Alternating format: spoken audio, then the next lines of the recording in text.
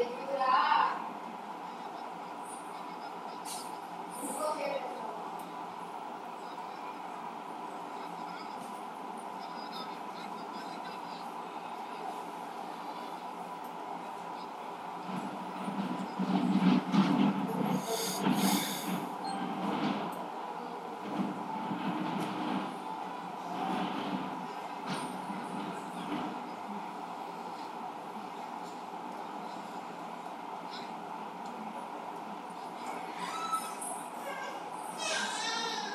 నేను ఇంకో చైర్ పెడతాను దాంట్లో కూర్చో.